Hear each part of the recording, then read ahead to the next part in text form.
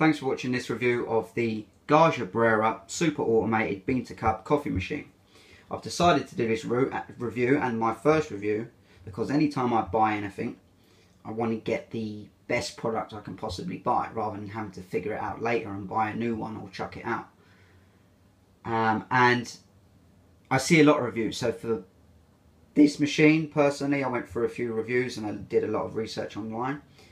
Um, and aside one particular YouTube channel, people have bought these machines but don't necessarily know a lot about coffee, which is fine. But I'm really, really into coffee. So this review will walk you through this machine, my thoughts on it, and some just quick tips and hints on how to get the best from your coffee. Starting with the coffee itself, beans are important. You always want the freshest beans you can buy. Ideally that have been roasted within the month, but that's up for debate and that's up for argument. Um, but get the freshest roast you can buy. Um, and then go through a different few brands and see what you like, see, get a taste for different companies and find what you settled on. I personally change um, each and every time just to try new things, but always ones that are freshly roasted. At the moment, I've got bulletproof beans in, um, which tend to pour really, really nice coffee, and I actually have a lot of bulletproof coffee here myself, so I like the idea of that. The machine itself has uh, an integrated grinder, which was important for me because I wanted to save space on my worktop. Um, you always want to grind down the bean fresh. So pre-ground can be good, and this machine allows for, for pre-ground in that slot. It's only really good if you want to have uh, a decaf, say, on a rare occasion, or a friend or something comes over and they want a decaf. Or if you're into supplements and stuff, there is pre-ground coffees now out there with um, added added extras that give you like a nootropic effect or a flavored effect. So this machine can cater for that as well. Personally though, I am sticking to the whole bean. Now this is a coarseness dial, which is relevant um, and most people tend to overlook this. This is really important for the type of coffee that you're brewing. A general and simple rule of thumb is the longer you're pouring it for, the coarser you want the grind. For a shorter and intense pour, like an espresso, you want a fine grind.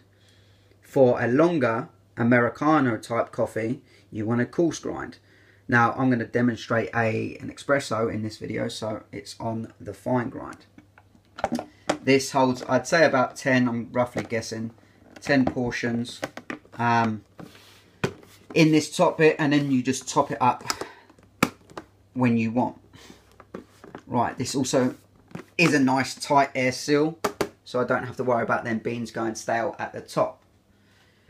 Now, the coffee machine allows different options for strength. So as you can see, the free bean option there is your maximum strength. You've got pre-ground, you've got light, medium, and strong. I'm going to go for a strong. And all that does is determine how long the machine grinds the coffee for, so how much coffee actually gets ground. Um, it does nothing else but that.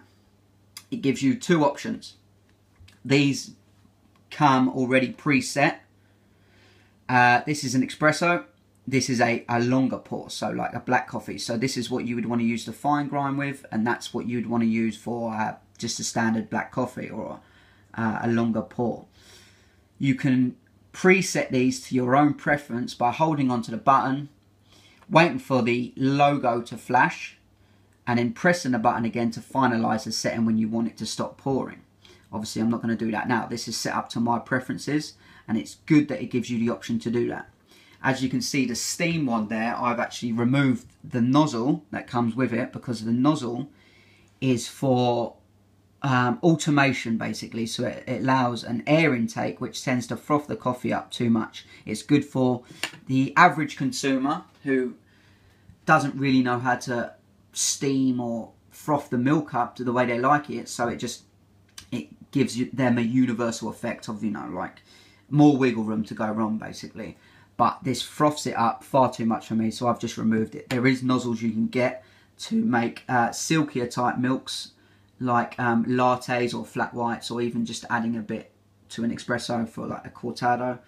um, but I haven't bought it. So I've just standard ripped that off and I'm using that and it works fine. Uh, the options itself, obviously steam on the left, just plain old hot water on the right. That will also come out the steam wand, which is a good feature if you're just using it for a cup of tea. Uh, it allows for an average size mug. If you're having tall latte glasses, it won't work. Um, and I prefer, I personally think they're quite gimmicky anyway, tall latte glasses. I am going to pour an espresso. It's important when you're, whatever cup or mug or espresso glass you're using, that you pre-warm it. Just add some hot water.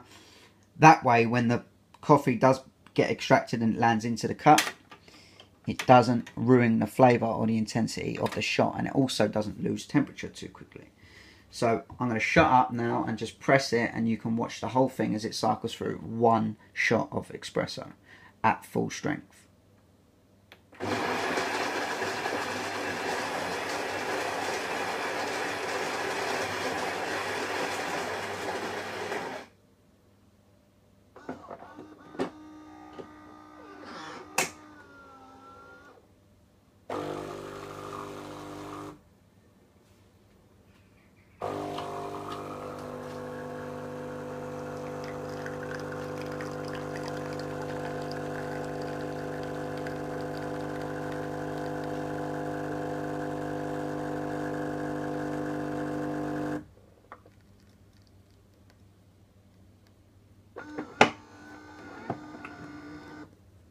That is one freshly poured espresso. What you want to aim for when you're pouring espresso and how to tell if it's a good one is by the colour of it. So, however well this camera picks it up, I'm not too sure. But that's a good crema at the top, so a good thickness of cream, sort of like a, a mini Guinness. Um, and dark and black within the cup. Obviously, that will fluctuate depending on what beans you got.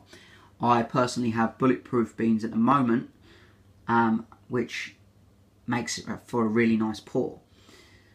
Uh, with this machine, and for espresso-based drinks, you can also froth the milk. I'm not going to do that for now, but tips to use, uh, tips I can give you to use is the pitcher that you're using wants to be kept in the chiller or kept in the freezer. The colder you can have it, normally the better. It tends to um, help aid the frothing process when you're making your milk-based drink.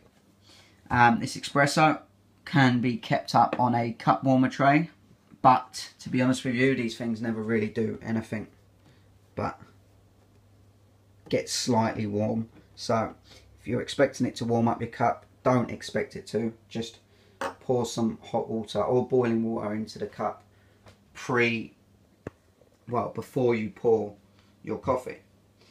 Um, I'm only using filtered water or bottled water in this machine. You can add a filter to this machine, which is important. It's important the quality of water that goes through the machine. Not just so much for taste wise, because you'd have to be a real connoisseur to notice, but it's more for the maintenance of the machine itself.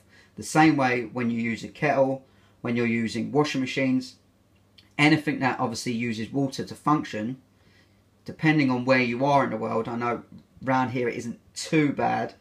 Um, the water hardness and obviously the heavy metals and particles that come throughout the water, not just for your health wise, but for the maintenance of your appliances, you want the best quality water you can get. So either use pre-filtered water, you can have a a water filter added into this tray here, which is also quite convenient. It comes out the front, so you don't really have to move it to change these things around. You can add a water, water filter there, but personally I only use bottled water in this. Um, for health reasons, I only go for Evian water. Not like you searching a review on this machine really care. This is where the pre-grounds go.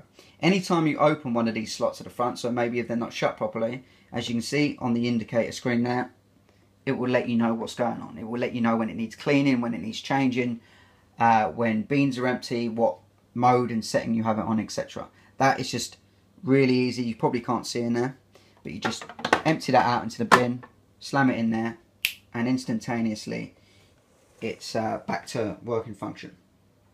Drip tray has a nice red indicator at the bottom there that will tell you and float to the top um, to change this, to drain this, wash it out, put it back.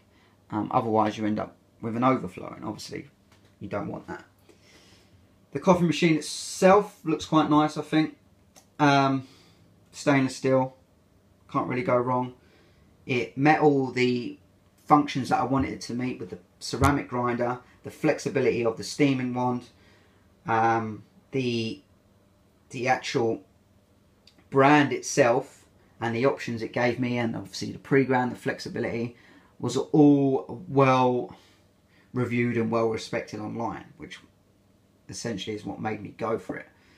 Um, and it seems to be doing the job so far. And the reason I've gone for this, I've gone through all different types of coffee brews, but I've gone for this because at the push of a button, I can have the preference of coffee I want unless you're buying a coffee machine, a manual coffee machine that's worth thousands, anything you get domestically isn't really going to maximize the quality of the coffee anyway. And unless you're a really, really high, highly experienced trained barista and you're just messing around at home, then it's not worth buying a machine that's worth thousands of pounds. This I paid 380 for in English pounds sterling. Um, but it retails around £400, which is probably about $450. Um, I'm happy with it. It fits my routine. As I say, it gives me options for guests or for whatever preference of coffee I have. tend to have a stronger one in the morning and maybe a lighter one midday. And I can also add milk for those that even just want a hot chocolate, add hot flakes, well, hot chocolate flakes or powder or whatever to the milk jug and just steam that and you can make hot chocolates at the same time. That's my review of the Gaggia Brera. I would would recommend it. I wouldn't say it's um it's you know it's a must have. If you're if you just like coffee just for the sake of it and you have it willy nilly, don't go spending this much money. But if you are into coffee like I am and it's integrated into your daily routine once or twice a day, uh, and you appreciate it and you appreciate quality product and high quality beans and good machines, then I'd say go for this.